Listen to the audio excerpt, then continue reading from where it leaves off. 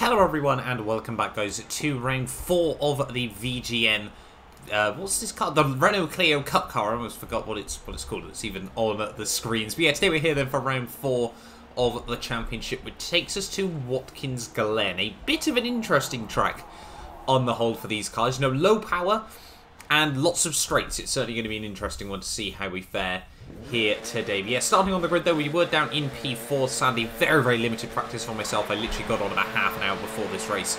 And yeah, so started P4, was honestly happy that I managed to get one clean lap in, but also props to VGN, the very first time we've actually had two lobbies in, well, at least in the time I've been racing. Some people have been saying it has been in the past, others are saying it hasn't, so I, I don't really know. But yeah, first time at least for me that there has been two lobbies in VGN. Luckily, obviously, we did make it up into a lobby for this one. Obviously, you know, you, you can't score more points being in B lobby than in A, so looking forward to these races nonetheless here at Watkins Glen. Yeah, we had a couple of new faces as well coming in for round four of the championship, but you know, at the moment we're still just trying to build up that margin of safety as we head in towards the final couple of rounds. We never technically got a points update from last week. I could probably sort of manually go back through and work it out. But I think after Long Beach, we had a bet a 40 point lead over Flex. Uh, sorry, not over Flex over Rye, I'm going to say. You know, what in, uh, sorry, Long Beach, even I should say, yeah, it was a really, really good round for us. So, yeah, we, we certainly were able to capitalise there as Ryan and I almost get stuck together down this back straight there. I had to brake or we would have, yeah, both been in the wall and probably both been out in that situation there. So, yeah, that was not the best way to start this race. And, yeah, really the aim as we head in towards the final couple of rounds of this championship is just to try and keep outscoring Rye at the moment, probably, because, you know, he is our sort of main championship rival at the moment. Most other people have sort of missed one round or something like that. So, yeah, the aim is to just try and outscore Rye at the moment there. And, we, yeah, once again, we've got a couple of new faces, though. RZM Tactical from Rise Motorsport, you know, formerly Aerox, I'm sure, you know, those of you that stick with the Forza scene have probably have heard of those guys as well, as well as RSR Nonny, who I'd never technically heard of. A lot of people saying, you know, very, very quick, but yeah, no, I've personally never seen or raced them before, but still, you know, looking forward to, you know, racing some new names there. So we head up the hill, and we actually do get up the inside of Nonny, a bit of bunching up behind the, all of us here. And this car, with this tune, very, very weird in the slipstream. Sometimes seem to be able to make great gains, other times they seem to struggle to even match the car in front. It really did make no sense there. Luckily, Nonny decided he'd bail out as we head in towards the bus stop here on lap 2. And yeah, we would hold on, therefore, to P4 in this racer there. So we basically held even off the start. And unfortunately, you know, Tactical and Flex really, really able to, you know, get a breakaway in the early stages of this race. And it's one of those weird ones where, you know, if you can work together quite well, um, then, you know, Slipstream can be very, very useful around here. But really, it just didn't quite work that way for Ryan myself. You know, championship rivals, it's probably never going to be, you know, neither of us really want to bail out early on in these races here. Yeah, on to the end of lap 8. We had had a little bit of battling before this, but in all honesty, if I'd left in all the battling from tonight, this, this video would have been an hour long. It would have just been all three races in full, pretty much, you know. So I think to cut, be able to cut it down into 25 minutes, I still think personally is quite an impressive feat there. But on to lap 9 we go. Like I said, we actually get up the inside of Rise. We get ready to head up the hill, and we just about got the run through turn 1 there. And now it's going to be a drag race up towards the top of the hill. And we've really got to try and scroll off as little speed as possible to avoid the inside curb as well there. And almost a bit of contact between the there. We're trying to just edge out in front of right here. We're still just about side by side. Got in the room around the outside there. But luckily for me, he does bail out a little bit early. We trim the curb there ever so slightly. But yeah, we now move ourselves up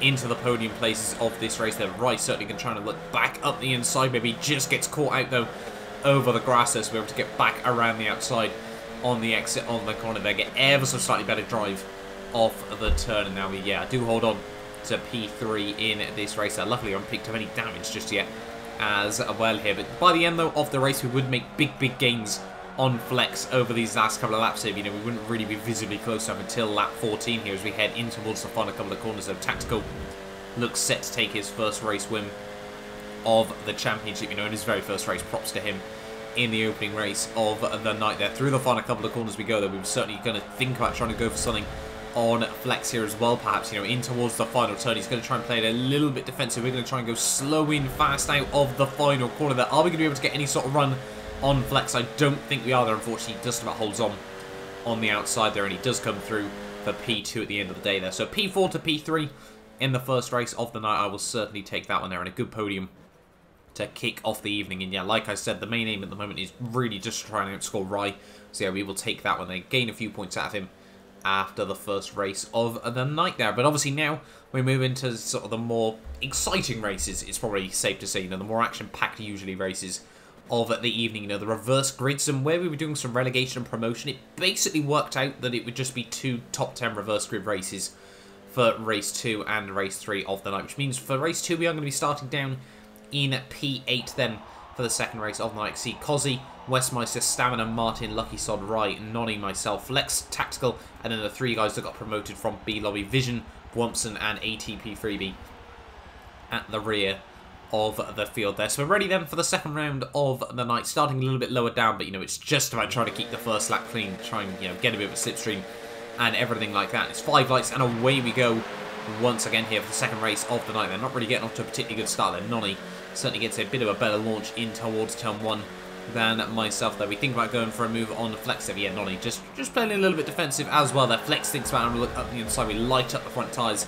as we go through the first couple of corners there. Rai does not get the run through turn one there. Both myself and Nonny able to get around the outside as we now head up the hill here. You can see there's a little bit of bunching up already here. We've got DOR Stamina, I think, and Westmeister as we head up the hill there. Three wide just in front of me as well. The lucky sod. Are we going to be able to have a look up the inside? We're certainly going to try it there. Up the hill we go. Nonny as well there. And we're potentially going to try and make it almost four wide as we head towards the top of the hill there. Luckily, Nonny bails out of that one. I bail out as well there. Trim the apex. So Martin and Stamina almost come to blows there. We're potentially going to be able to look around the outside of Stamina there. Take all the curb in the world on the exit of the corner there. And I think a little bit of lag between myself and Stamina as well there as we now head out through Carousel. But that's certainly been a good start for myself. Up three places off the start of this race. Obviously, yeah, certainly have worse starts in VGN so far there. And, you know, really, you know, we've got a lot of the other quick guys, you know, are now behind me in this race. You know, the quick guys, but, you know, we've still got, you know, Stamina, Martin, West, and Cozzy are all certainly very, very quick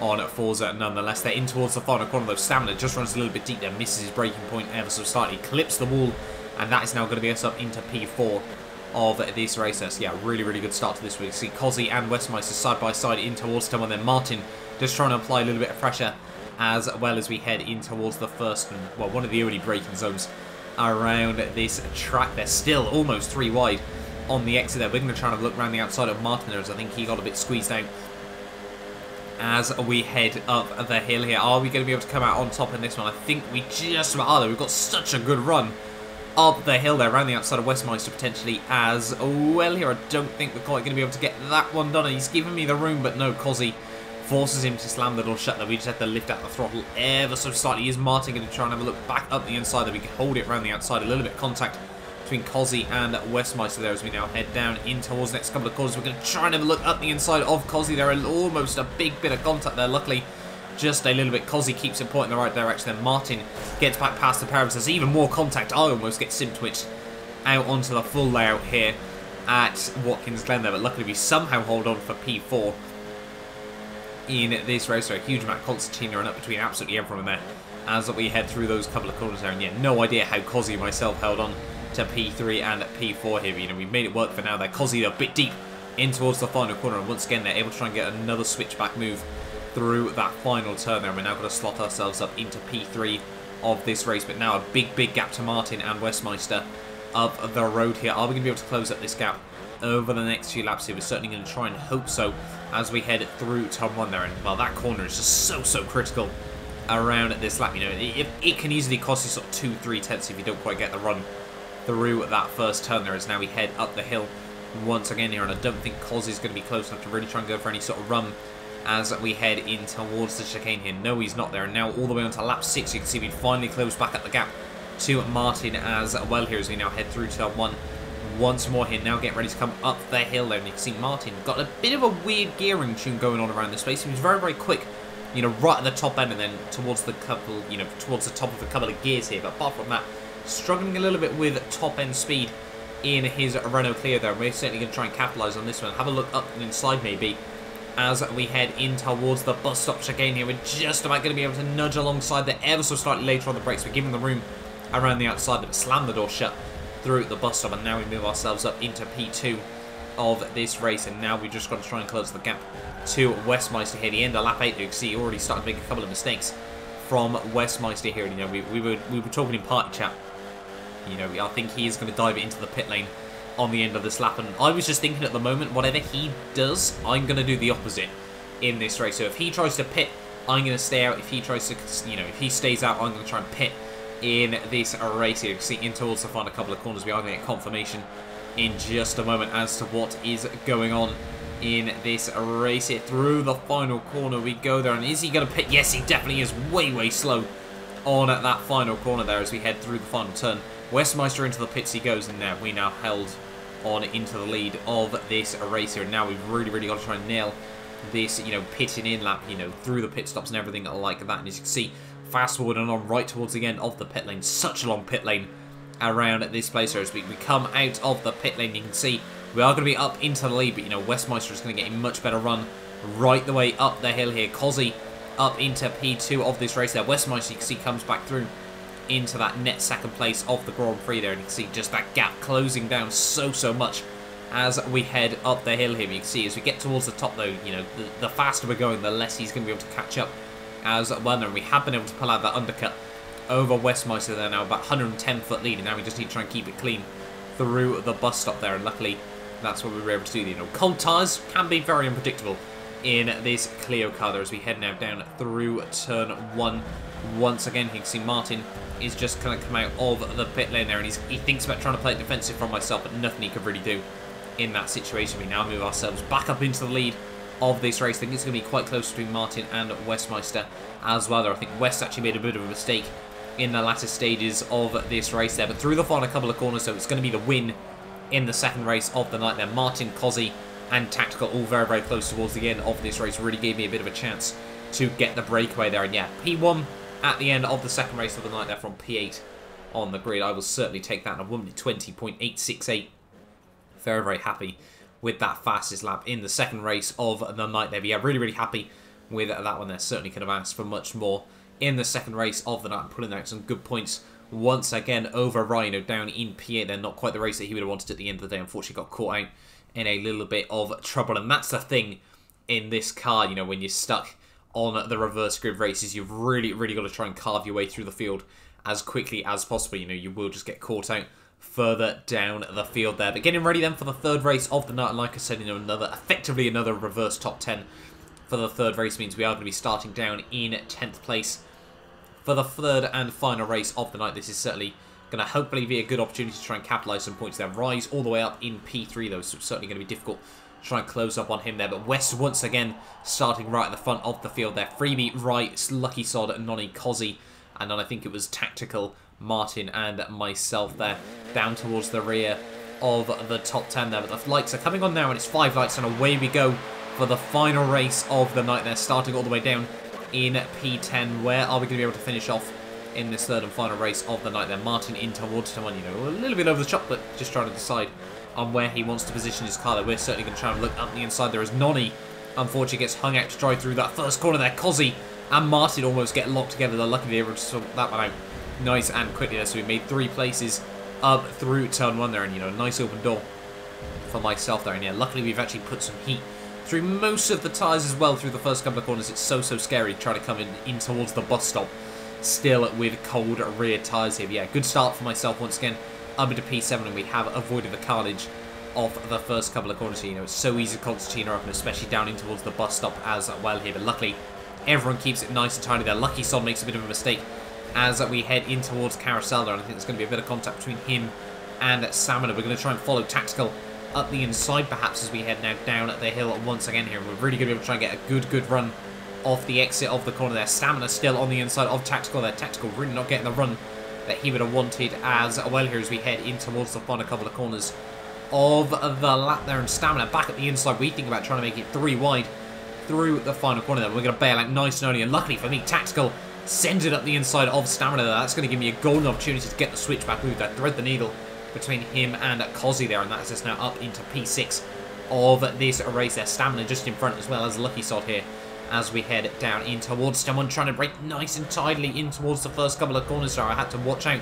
I thought Cozzy might try and go for a move up at the inside there. Everyone's sort of running a little bit wide through turn one just in front of me here is now heading up the hill once more here. Stamina still just in front of me here. Has he got a particularly good run on Lucky Sod? I'm not so sure he has at the moment there, but he's still trying to slot into the slipstream, you know, given, you know, hindsight is a wonderful thing. I would have probably tried to get onto the inside of him there, but no opportunity opening up this time around as we now head in towards this chicane. To try and break it a little bit early in towards the corner there as we head through the bus stop, and you just see Stamina struggling a little bit on the exit of the corner there. Lucky Sod got a tremendous run through there this time around, and we're just trying to cover off from Cozzy, thinking about having to look up the inside there. We do just about hold on in that situation there, get a bit of a better run on Stamina, as well as we now head down in towards the final couple of corners once again here. And like I say, this track is so momentum-based at the end of the day that it was really, really difficult trying to make particularly, you know, brave moves around this circuit because you, you'll just risk losing you both a whole chunk of time there. But in towards the final corner, once again, Stamina just a little bit deep on the brakes there, and that's going to once again be a nice open opportunity for myself there. Not quite the run that he got in race two there, but we're certainly going to be able to look up the inside in towards turn one here, running very, very close there, trying to give him a bit of a squeeze there, and he thinks about trying to go for a switchback move there, but we do get the car on to the apex, like a little bit of a punt on the exit of the corner there, which probably really saved me at the end of the day there as we head now up the hill once again here, though. Stamina still should have a bit of a run on myself, you know, in the slipstream, everything like that. What is going to happen as we head towards the top of the hill here? Stamina, he is slowly but surely gaining it. That time around, nothing he could really do in that situation there as we now head in towards the final couple of corners of lap three now, all over the back of Lucky and Freebie there. And Lucky just clips the wall in towards the start-finish straight there. And we're going to be able to have a look round the outside there. He's going to try and play it defensive. And it's absolutely key that we get the car fully in front before we get in towards turn one there. And luckily, you know, without the, you know, with the reduced momentum from Lucky Sod there, nothing he can really do. Try and hang it up the inside through turn one there. And now we've got a bit of a run on Freebie as well here as we now head up the hill once again here. We're actually going to look round the outside as we head through turn three there. We going to be able to get the nose up the inside? He's going to try and give me the squeeze there, but we hold firm. We hold the nose up the inside there, and this could be absolutely critical in this race here. He's got a bit of a better run towards the top end, there. What is going to happen as we head in towards the bus stop? I don't really want to bail out of this one there. Freebie actually grazes the tire there. I have no idea how he got away with that one there. It hangs me out to dry through the next part of the corner there. We're going to hold firm, try and keep the nose up the inside there. Lucky Sod actually makes it three wide through the corner there, but on the inside we go. And we now move ourselves up into P3 of this race. They're trying to take all of the exit curve as we possibly can there, but Freebie still going to be able to have a look, a bit of a look up the inside through, well, sorry, around the outside even, I should say, in towards the penultimate couple of corners there, but luckily this time around, nothing he was able to do in that situation. Now, Rye and Westmeister further up the road, we've got a mountain to climb if we want to try and close up to these guys there. But by the end, though, of lap 10, once again, a lucky safety car would come out and bunch up the field here. So we've got four laps to go of this race to really make it count. And let's just see what we can do then. Four laps to go. Go when we hit the line there. And yeah, obviously, understandably, Rye and Westmeister getting a bit of a better run as we head down in towards tomorrow. But this could be a golden opportunity to try and get two wins at three in tonight's racing here. We had pretty much closed down the gap to West and Rye nonetheless here. You know, we still weren't quite able to make any sort of move work. And I didn't actually realise at the time that both of them had engine damage in this race as well here. So as we head up the hill once again here, right, what is he going to be able to do on Westmeister here? I think he's got about 1.2 and Westy's got about 0.8% in this race. And we've got absolutely nothing still in this racer. So this could be a golden opportunity for myself. In towards just came Westmeister just that little bit later on the brakes. No one really wants to concertina up all too much there. It's still Cozzy just behind us as well. We've certainly got to watch out for him in this race as well as we now head through Carousel once again here. We are going to ride on board right the way through to the end of this race now, trying to get the drive off the exit of Carousel here. And, you know, it's this horrible gamble now in the championship. You know, we still want to make up the places, we still want to win these races, but we have also got to think about the championship as well here as in towards the final couple of corners of lap 11 we go there. Think about having a look around the outside of Ryder, hoping we can try and push him a little bit deep through the final corner. And we've certainly tried to make it work there. Ryder was going to play it defensive. He's going to be wary of that move there. We're going to be side by side down in towards 10-1 here. So now the aim is trying to get a bit of a cheeky switchback on him here. In towards 10-1. They actually clip the grass ever so slightly there. We do get the car so down nice and tidy there. And we are going to be able to get a run on the exit of the corner there. But he just runs a little bit wide. And that's probably going to help him out a whole host here in this race. So he's going to be able to get the run up the hill and once again here. And you know, you've really got to try to take some weird and creative line to try and scroll off as little speed as possible. They're giving him a little bit of a punt down the straight, which once again is really going to help him out in this racer. And now we've got Cozzy thinking about having a look up the inside as well here. We're trying to just stay in the half toe of Rye as well here. And well, how is that Clio just so fast towards the top end here? It's absolutely phenomenal from Rye there. And I'm pretty certain we were on the same tune as well here. So yeah, really not too sure how he was managing that one there. Cozzy thinks about having a look at the inside there. We squeeze him out over the curbs just a little bit there as he's actually going to be able to get a really good run on the exit of the corner there. And luckily for me, Tactical is going to come in clutch there. Give me a little bit of a punt as we head down this back straightaway here. He's actually, I think, going to try and make it three wide there. We're just trying to stick right onto the front end of his car there. We could easily be speared off into the wall that we accidentally get pushed out in towards Cozzy through the final corner there. Cozzy has a look up the inside there. We hold firm right around the outside we go there. We do hold on to P3 of this race there, but that's given Rye and Westmeister a little bit of a breakaway here. Now just two laps to go of this race, and is uh, I think Tactical might be able to look up the inside in towards turn one there. I think he thinks better of it there. A bit of contact actually me between the pair of them there as we head through turn one, and that's going to give myself once again a tiny bit of a breakaway from the two cars behind here. And now we need to focus on Westmeister and Rye once again in this race here. They, you know, what we need at the moment is those two to go a little bit side by side. Everything like that really just allow myself to try and close up. We saw it at Long Beach last week you know, with uh, stamina and a vision thing, you know, those two, you know, just got caught out with each other and really able to get two cars in one go here. Could we potentially see a repeat of that in this third and final race of the night here? Rye thinks about having a look at the inside, but uh, sorry, not stamina, Westmeister even, I should say, holds firm around the outside as we now head in towards Carousel for the penultimate time in this race here. And are we going to be able to get close enough there? We run a little bit wide on the exit of Carousel. I'm really, really just trying to push, throwing absolutely everything at this car at the moment here. And, you know, even if we can just get close, potentially an opportunity could open up. It's such a momentum-based circuit, here, potentially a couple of last lap mistakes perhaps as we head through the final couple of corners there. I'm really just focusing on hitting my apexes, getting the drive of the corners here. You can see just how much we've been able to close up through those final couple of corners there. We've got a slightly better run than Rye as We head down in towards turn one here, but we've still got tactical behind as well here. We do need to watch out potentially for him in towards turn one once again there. Rye's going to try and go for a bit of a switchback move on Westmeister there. Runs a little bit wide through the first corner. We just about keep it between the white lines through that turn one there. And you can see West up the hill we go there. Is Rye going to be able to get a bit of an opportunity here? He's certainly going to try and have a look for it.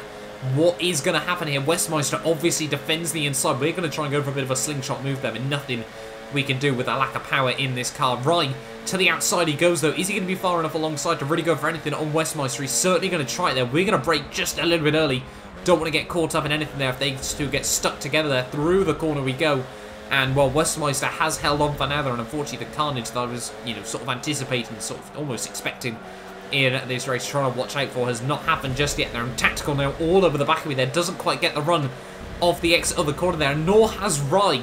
We're going to be able to have a look up the inside, in towards the penultimate corner of this race. They're side by side. We go in towards the final turn. Rye's going to try and give me the squeeze out over the curbs. So we're going to try and use the grass to our advantage. They're muscling out wide ever so slightly there. Rye's going to obviously try to hang the nose up the inside there. We don't actually get the run off the exit of the final corner there, but Rye just gives me the room there. And luckily, you can see with the engine damage, he's going to be side by side down towards the line. Who's come out on top? It is ourselves there by one thousandth of a second at the line. That was one of the best finishes to a race I think I've ever had on Forza. And I was honestly, through those final couple of corners, I was trying to get the switch back on Ryder, you know, really just focusing on, you know, going slow and fast out there. But he, he held it on the inside and just scrubbed off just that little bit too much speed out of the final corner there. We were able to make it work one thousandth of a second at the end of the day there. Westmeister wins the third race of the night ahead of myself, Rye, Tactical, Cozzy, Stamina, Lucky Sod, Martin, Nonny, and Tigawoo at the end of the day there. And well, once again, just going to save that replay as well at the end of the day. They're going to delete some more footage, I think, from one of the opening rounds of this championship there. But there we are then. That is the end of round four of this series. Finally having a look at the points as well here. And you can see myself now 71 points clear of Rye, 105 ahead of Westmeister Hero with just 200 points available as we head in towards the final couple of rounds of this championship. I really, really do need to try and keep it clean, keep it consistent, and yeah, hopefully we can finish off the season on a high there. But that is the end of the highlights from Watkins Glen. Hopefully you guys have enjoyed this video as well. We are certainly in a good stead try and wrap up this title. Hopefully, you know, as we head in towards the next couple of rounds, we can try and build up a little bit more of a gap. I'd love to sort of head into the final race. We know a good 90 point lead as we head in towards the final rounds of the championship. Yeah, like I said, thank you all so much for watching. Get yourself subscribed if you're new around here as well, and I will hopefully see you guys next time for another video.